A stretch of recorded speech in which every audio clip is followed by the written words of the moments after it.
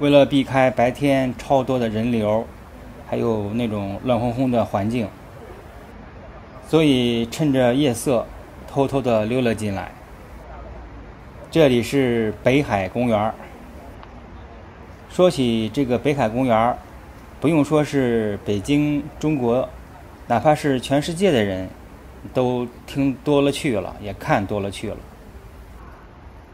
打小学一年级课本上就出现了北海公园，打小就开始耳闻目染，这么多年，真的是已经入了骨髓了都。这个公园呢，的确是保留比较完整，规模呢也比较宏大，而且呢，它还是一座皇家园林式的公园，所以呢，在北京是非常的有名，并且呢，它。在市中心，所以它具备了这些种种的条件之后呢，它的这种知名度啊就无限的延伸扩展。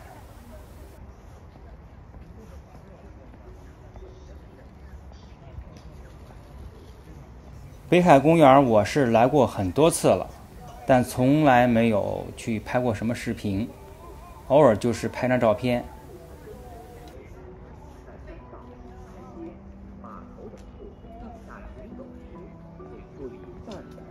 我自己到底来了多少次呢？我也记不清了，只记得最早的时候是上小学的时候，老师带着我们到这个公园来春游，那是最早的印象。已经离现在有好几十年的时间了。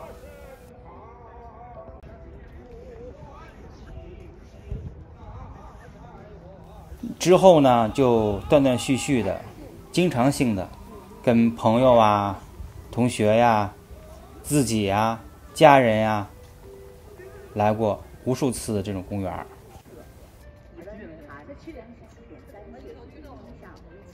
但是那么多次呢，都是白天，白天来玩的，晚上来玩，今天这是第一次。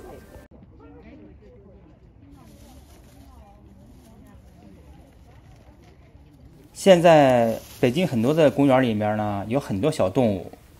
啊，尤其是以这个猫咪最多。现在的人普遍的对于动物呢有比较强的保护。再一个呢，公园里边人多，有很多人给他们喂食儿，所以他们不愁吃。而且公园里的面积呢也足够大，足够他们活动，也足够他们拥有自个儿的领地，所以。久而久之呢，这种动物呢就越来越多了，它们会在里边不断的繁殖。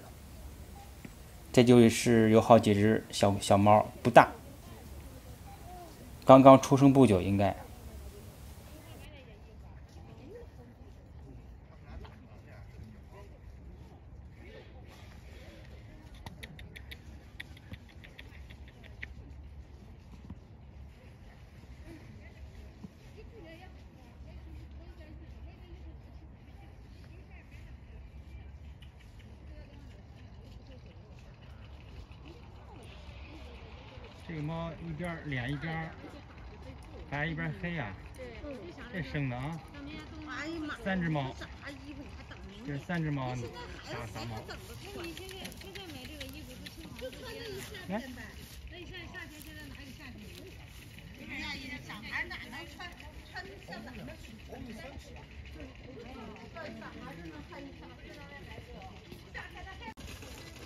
他是他是那个番薯啊。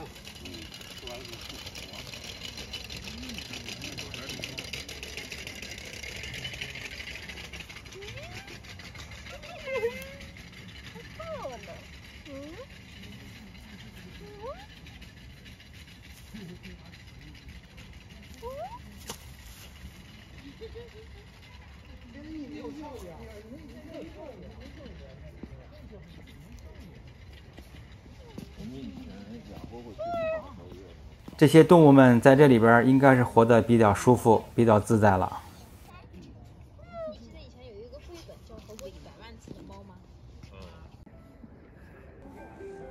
继续往前走，过了这座桥，前面有一座土山，山上呢就是那座著名的白塔了。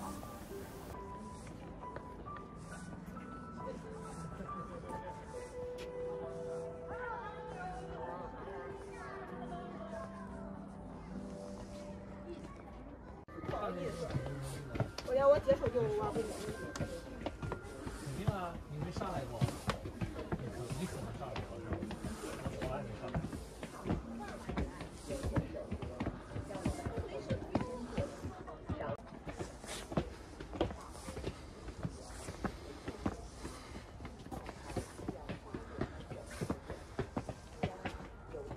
山不高，而且台阶儿也不是很陡，几步就上来了。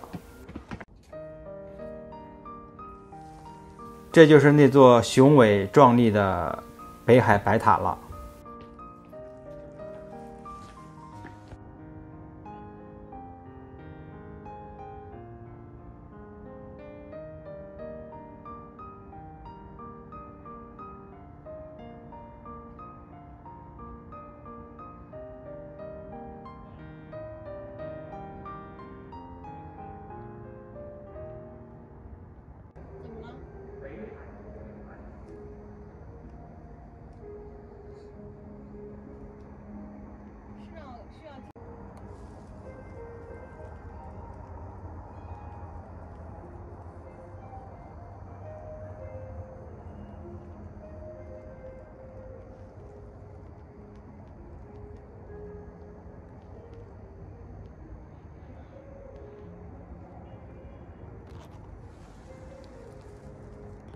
现在是往山下走了，离开了白塔的那个山了。晚上这里路静悄悄的，一个人都没有，显得非常的宁静。在这里玩呢，晚上和白天的感觉差别呢特别的大。说通俗点呢，晚上的感觉呢，内心特别平静，特别的放松，也特别的踏实。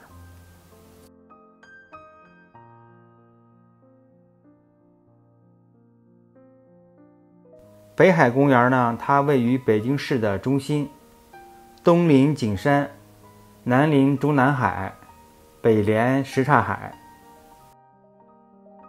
它是属于中国古代皇家园林风格的。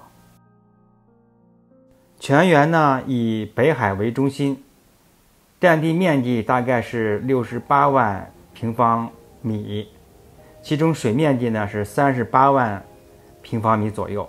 陆地的是二十九万平方米。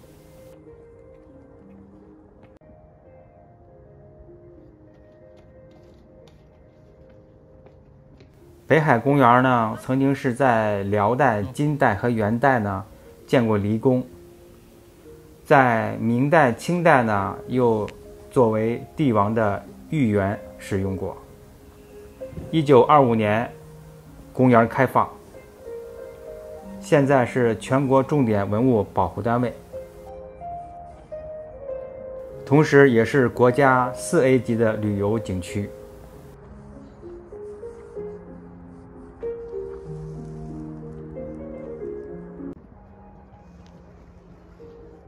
现在还是在北海公园里边，对面那个灯火辉煌的那个桥，横着的那个桥，那桥过去就是中南海。就是那些，呃，国家领导人他们的办公和居住的地方。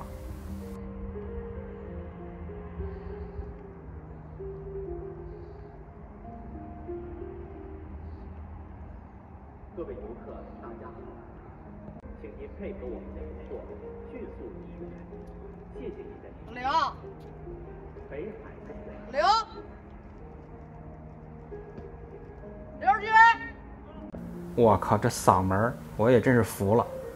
这大晚上的嚷嚷什么呀？有什么可嚷嚷的？就不能好好说话吗？公园里本来就没什么人，很安静了，稍微一句话，我觉得就能听得见，无需去嚷嚷。这都是一些特别不好的习惯和毛病。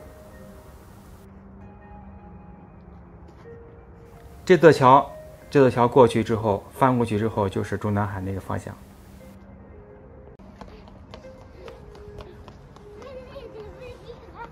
因为现在喇叭已经开始清源了，开始陆续的让大家离开了，而且保安们也开始出动了，有驱赶的那种意思，让大家赶紧走，赶紧离园。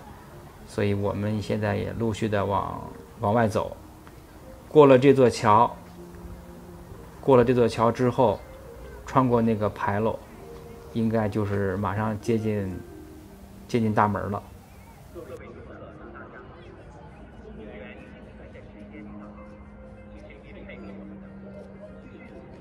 这是我头一次在晚上来逛这个北海公园，感觉非常的爽，很喜欢这种感觉。马上就要出去了，希望您也一样享受这晚上游玩的这种感觉和气氛。下次再见，拜拜。